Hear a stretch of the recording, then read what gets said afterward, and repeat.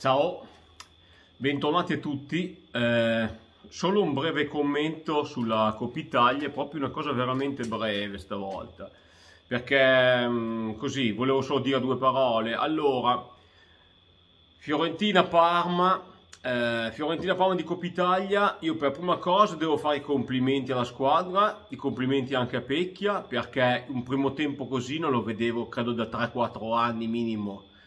Quindi eh, hanno fatto, fatto una partita splendida, è finita con una sconfitta ai rigori contro la Fiorentina che è praticamente in zona Champions e quindi lato mio sono serenissimo e contento della partita che è stata un primo tempo meraviglioso. Però eh, c'è sempre un però.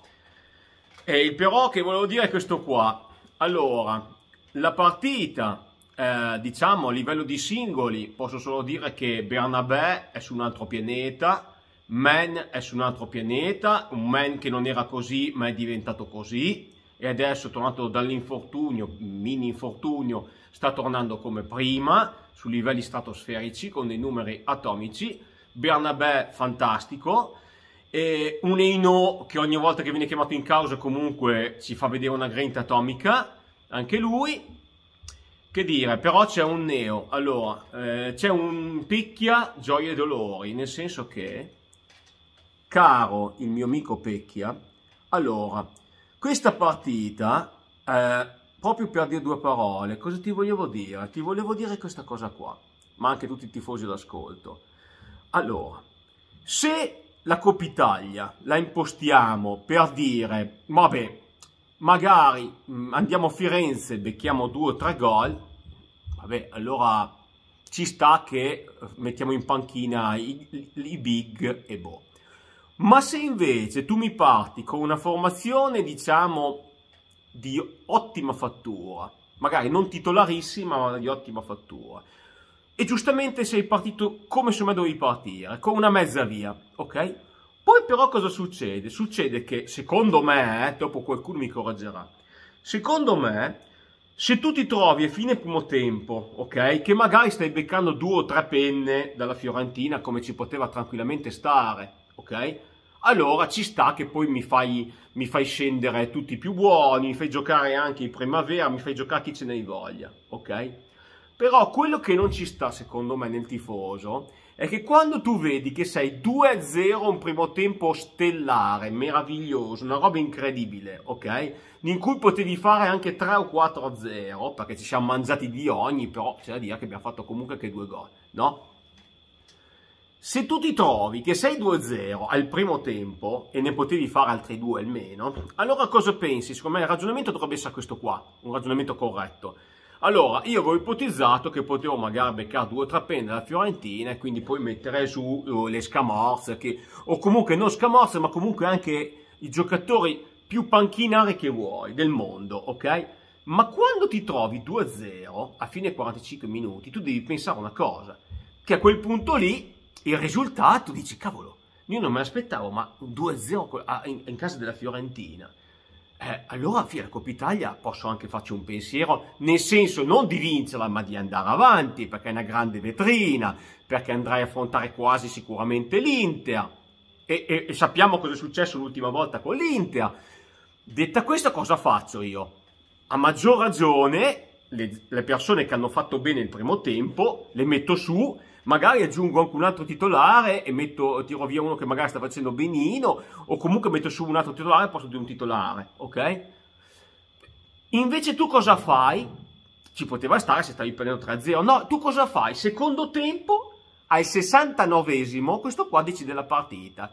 Perché al 69esimo tu che cazzo mi fai? Al 69esimo mi fai uscire il faro del Parma di quella partita lì con la Fiorentina. Cioè chi, secondo voi, chi è il faro di questa partita che ha illuminato, ha fatto quel cazzo che ce ne aveva voglia, sembrava di averci messi in campo con dei lanci millimetrici? Il signor Bernabé. Allora, siccome Bernabé eh, eh, ha fatto una partita favolosa e stava facendo una partita favolosa, tu cosa fai? A questo punto potevi portarla a casa? No, cosa fai? No, ma sai, Bernabé, sai, c'è il Palermo, domenica aspetta va che lo tiro giù che tanto ormai magari è fatta, no sto cazzo è fatta, la Fiorentina è da zona Champions. E quindi cosa succede? Che poi l'abbiamo presa in quel posto. L'abbiamo presa nel culo, va bene? Allora, l'abbiamo presa nel culo per colpa non solo tua, ma principalmente tua. Perché se tu, se tu la savi su Bernabé, questa partita noi la portavamo a casa. Tu l'hai fatto scendere. Cosa è successo? Guarda, sarà un caso, è sempre il solito caso. Dopo 10 minuti secchi abbiamo preso il primo gol e poi ne abbiamo preso un altro. Fra l'altro, ovviamente all'89esimo prendiamo il secondo gol, che così completiamo l'opera, no? Allora, la colpa è tua, primo, perché sei tu che hai fatto la prima mossa del cazzo al 69esimo. Al 69esimo hai fatto scendere Bernabé. I motivi non li so, sicuramente stava bene, quindi tu l'hai fatto scendere o per risparmiartelo per il Palermo, o non lo so, ok? Non certo per fargli fare la standing ovation, perché dire, l'importante era portare a casa il risultato. No, ecco, quindi secondo me tu l'hai voluto risparmiare per Palermo, no? E invece hai fatto la cazzata, perché in questo caso non stavi perdendo 2-0, 3-0, e quindi potevi anche far scendere tutti per me. Ma no, tu stavi vincendo 2-0 con un gran figurone, invece ci siamo trovati a fare una figura del cazzo perché eh, a farci recuperare la partita all'89esimo e dopo 10 minuti che Bernabé è sceso, ma anzi dopo 30 secondi la partita era già finita, perché abbiamo già visto cosa è successo al centrocampo quando è sceso. Non era più il Parma stellare che stavamo vedendo, non si riusciva più a far smistare i palloni bene, eccetera. Risultato, ci siamo beccati una Fiorentina all'arembaggio e noi, vabbè, potevamo fare gol, magari in contropiede, ma era, era un gioco diverso, cioè eravamo meno eh, pericolosi, in poche parole eh, era eh, eh, Parma in difesa, far muro, tipo, tipo il Sud Tirol, e la Fiorentina che attaccava per cercare di recuperare. Boh, risultato è questo qua, boh, quindi hai fatto scendere Bernabé, hai rovinato la partita, hai buttato nel cesso la Coppa Italia o comunque la possibilità di andare avanti e quindi avere una vetrina ancora più prestigiosa, l'hai voluto fare tu, la cazzata l'hai fatta tu, benissimo. Eh, a questo però, per onestà, aggiungiamo chi? Aggiungiamo il signor Osorio ok? Perché Koulibaly avrà fatto pure una cazzata sul primo gol perché non si sa perché, cioè non è andato avanti contro l'attaccante che stava per cacciare in porta a due metri dalla porta, non ci è andato incontro per cercare di, eh, diciamo, contrastare il tiro e non si sa per quale motivo, però alla fine quello era un 2-1 comunque, ma il 2-2 all'89esimo chi è che lo causa? il nostro mitico, adesso il nostro miticissimo Osorio, di cui tu hai una, non si sa perché, una fiducia smodata, cioè può fare ogni volta, lui ogni tre partite una cazzatona la fa, se non due su tre, ma almeno una ogni tre ti fa la cazzatona, tipo questa, per colpire di testa, allontanare un pallone, ovviamente lui colpisce così, ma allarga pure le mani, ma no, ovviamente se la palla è qua, eh, la testa va qui, no, dove c'è la palla, no? Non ci vanno le mani, quindi lui fa finta di svettare di testa contro il pallone, invece svetta con la mano,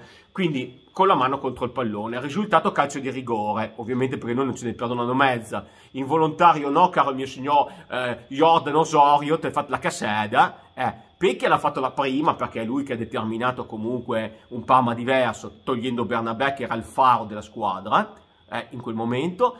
E, e, ovviamente tu hai dovuto completare l'opera, mi hai detto, sai, se non faccio io la cazzata di far presa la Fiorentina, chi la fa? Aspetta che la faccio io, vai, l'89esimo è ora che faccio la cazzata, se no qua finisce la partita e il Parma vince. Allora, facciamo la cazzata, quindi Osorio decide di eh, farci eliminare dalla Coppa Italia, facendo pareggiare la Fiorentina, supplementari, eccetera, eccetera. Quindi, fine. Ciao, eh, cazzata atomica, comunque cazzata atomica perché, cioè, veramente. Ok, detto questo, ho detto tutto quello che volevo dire. Quindi sarà uno sfogo incazzato, sono già 9 minuti di video, quindi io vi saluto e vi dico peccato perché è stato un grandissimo Parma di cui comunque vado orgoglioso, una partita bellissima, ok? Un primo tempo fantastico, ok? 69 minuti fantastici a dire la verità, un leggero calo nel secondo perché la Fiorentina giustamente ha un po' d'orgoglio, ma se non scendeva Bernabé no, 90 volte su 100 noi la portavamo a casa un Bernabé così, perché se fosse stato Gramo, ma ha fatto 70 minuti di applausi, quindi ok. Niente, vi saluto, ci vedremo per il dopo partita di Parma-Palermo, speriamo, caro il mio Pecchia, a questo punto, visto che Bernabé l'hai fatto scendere, che eh, col Palermo eh, magari ci prendiamo i tre punti, perché sennò veramente non è servito un cazzo, quindi speriamo in bene, eh, l'abbiamo fatto risparmiare, eh, mi raccomando, fallo giocare. Mm?